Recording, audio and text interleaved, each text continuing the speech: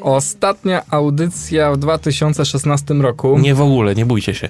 Czas podsumowań albo jakichś refleksji. E, no, mi się wydaje, że na pewno takim jednym z większych wydarzeń, no dobra, przesadziłem większych wydarzeń, ale takim momentem, e, na który wielu ludzi oczekiwało, to w 2016 roku oczywiście, to nowy komiks KRL-a. Tak. Ponieważ musieliśmy czekać e, dosyć spory kawałek czasu na jego taką produkcję troszkę dłuższą, ponieważ krótszych komiksów, tudzież ilustracji satyrycznych to było bez liku w tym roku. Między innymi e, mowa tutaj o profilu Batony z betonu. E, w każdym razie Karel to nazwisko powinniście zapamiętać, ponieważ jest to autor słynnej Łaumy. Łauma to, wow. jest, Łauma to jest komiks, jeden z najważniejszych komiksów, jak nie najważniejszy ostatniej dekady. E, Łauma, który, jeśli się nie mylę, trwa teraz e, ekranizacja tego filmu. Tak. E, były też mm, spektakle teatralne tak. na podstawie tego komiksu.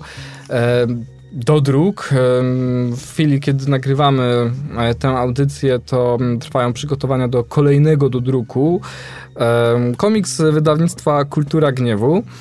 E, I no, cóż więcej powiedzieć, no myślę, wydaje, że jakby te dane już są, jakby świadczą, do, są dowodem na to, że faktycznie e, twórczość wo, wobec tego autora nie można przejść obojętnie.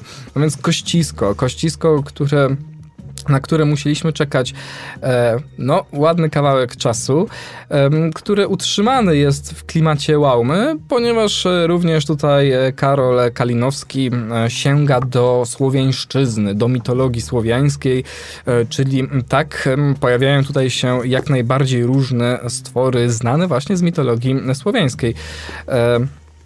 Mm, tak, czytając tę lekturę, to w ogóle miałem wrażenie, że Karol był bardzo mocno zainspirowany um, tym bestiariuszem. Właśnie, właśnie miałem, pierwsze, miałem właśnie powiedzieć, że pewnie jak już zaczynamy mówić o czymś inspirowanym um, Słowiańszczyzną. Tak, tak, to za, zaraz pewnie, zaraz w ciągu przeciągu kilku minut padnie słowo bestiariusz od Pawła Zycha, tak, dokładnie. Um, przyznam ci się szczerze, że obejrzałem też spotkanie z KRL-em, ponieważ na kanale na YouTubie Jarosław Ejsymont e, Pozdrawiamy. i polecamy serdecznie tak. ten kanał. Kanał polega na tym, że autor jeździ z kamerą po festiwalach i nagrywa spotkania z autorami, z wydawcami dokładnie. i tak dalej, i tak dalej. To jest śmieszne, bo on e, twierdzi, że ma kamerę, ale nie ma dobrego sprzętu na nagrywanie audio. Natomiast ja nie mam kamery, ale mam sprzęt do nagrywania audio i w sumie zawsze się mijamy, żeby się razem jakby połączyć siły, żeby coś, żeby nagrać coś e, i, i z tym w dobrej jakości i z tym. E, Jarku, może następnym razem się uda w końcu. Sobie wyobrażam, Jarek i Wojtek i audio, czu, czu, czu, czu, wideo, czu, czu, czu, połączenie, powstanie film dobrej jakości końcu. E, w każdym razie tam e, odsyłam was serdecznie. Tak. Tam e, Karol Kalinowski mówi na temat e, Kościska, e, tłumaczy ciekawostki odnośnie ekranizacji Łaumy, e, odpowiada na wiele pytań.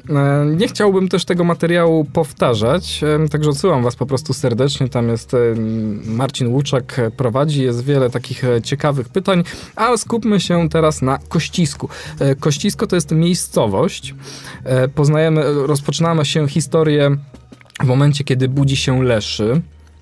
Nie wiemy skąd się budzi, dlaczego spał. Wiemy, że jest gdzieś i on sam nie wie gdzie i chce wrócić do kościska. Dlatego zaczyna zbierać jagody, żeby mieć e, pieniądze na to, żeby hmm. dostać się po prostu. Ponieważ spał tak długo, że obecny świat zaskoczył go skokiem technologicznym. No i biedny Leszy w jakiś tam sposób musi się e, odnaleźć. Potem przeskakujemy do Kościska, gdzie poznajemy, uwaga, pana Karola, który zostanie, który będzie pracował e, w bibliotece, czyli jest o. bibliotekarzem. O. I autor komiksu jest też bibliotekarzem. O. I też ma na imię Karol. O.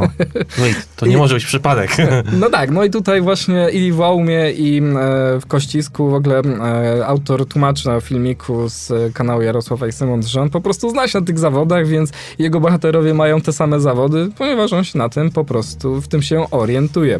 E, no i mamy właśnie pana Korola, który przyjechał z synem e, do małej miejscowości, gdzie wszyscy się znają, ale w tej miejscowości my jako czytelnicy już wiemy, że w tej miejscowości coś jest nie tak, że bohaterowie są jacyś tacy dziwni, jacyś inni, e, że mają jakieś takie swoje dziwne sprawy, różne są takie tajemnicze zjawiska, e, które mają miejsce e, w tym całym kościsku. No i też mamy właśnie tego synka, który zaczyna się jakoś wkręcać w tryby tego całego, tej całej miejscowości, który poznaje e, nowych e, bohaterów, e, dwóch urwisów, z którymi chce spędzać czas, no i który tak de facto odkrywa tajemnicę tego całego kościska. No, tutaj, no, w sumie, w sumie teraz będzie walka ze spoilerami. Powiem ci, że bo tak, ich nie zdradzać. nie no, nie, nie, nie, nie warto takich rzeczy, że tak powiem, kolokwialnie spoilować.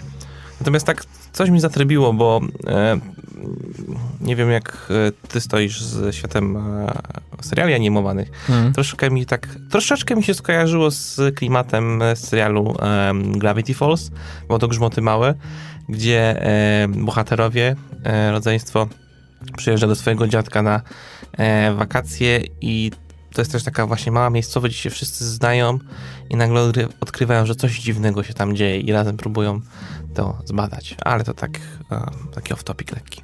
No tutaj pojawia, znaczy wątek y, podobny jak wołał mnie, że początkiem historii jest przeprowadzka mhm. pewnej właśnie e, rodziny, również wątki tutaj e, słowiańskie.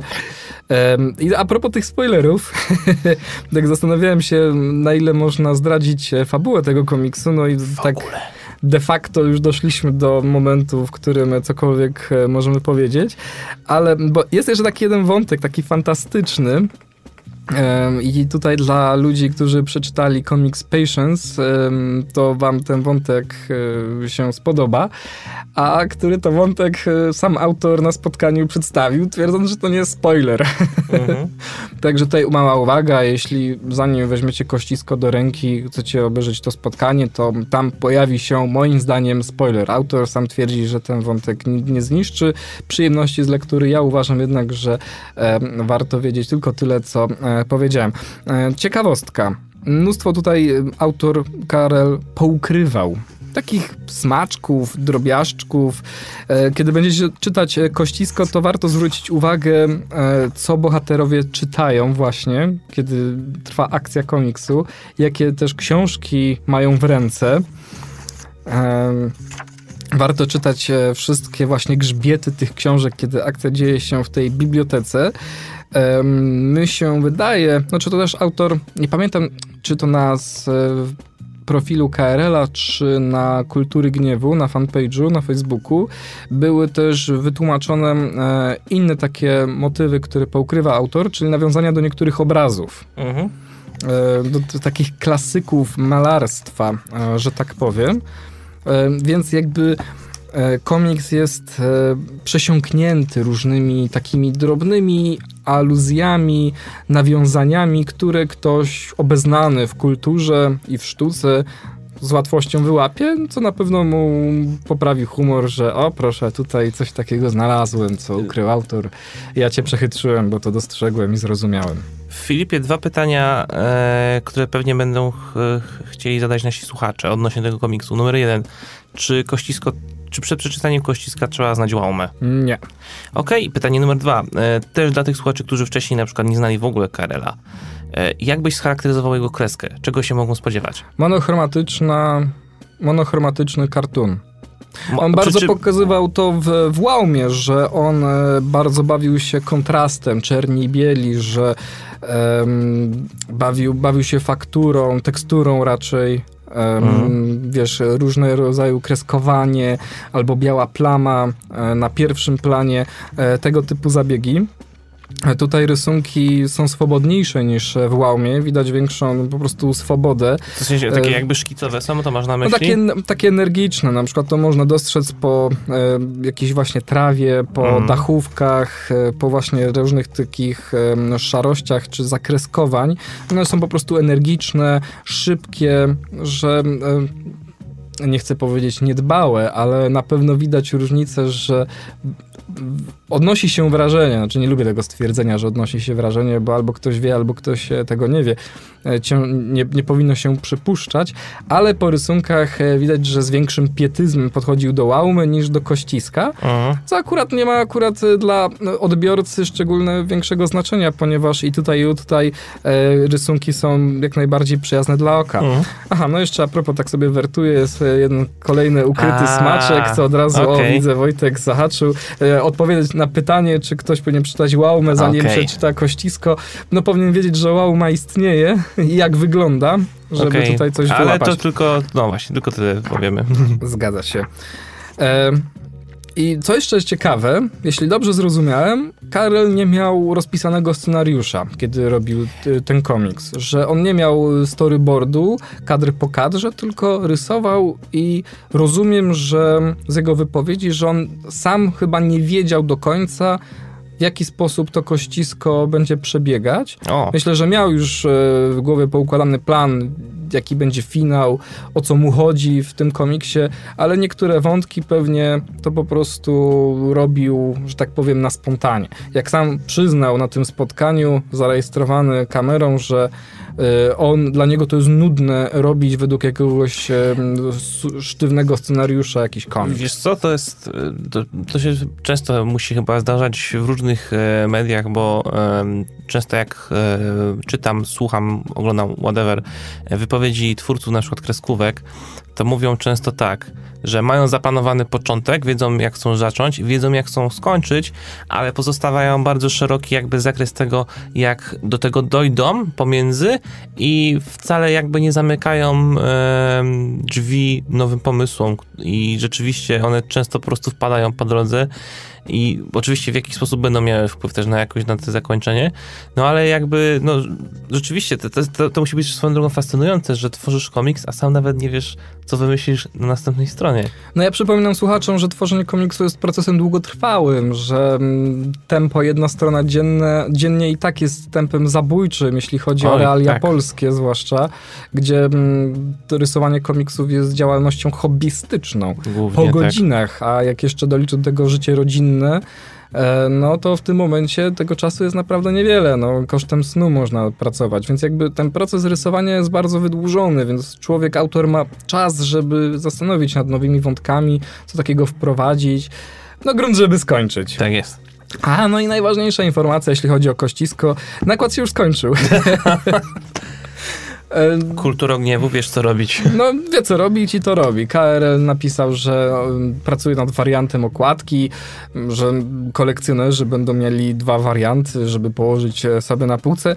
I jeszcze kolejna e, bardzo ważna, istotna informacja, że jest to komiks imprintu Kultury Gniewu z krótkich gatek. O którym czyli, rozmawialiśmy tydzień temu. Tak, czyli jest to komiks skierowany dla najmłodszych. Więc jeśli lubicie i macie na przykład, jesteście akurat osobami dorosłymi i lubicie komiksy, to w tym momencie możecie kupić coś, co przeczyta i wasza pociecha, i przy którym wy się ubawicie.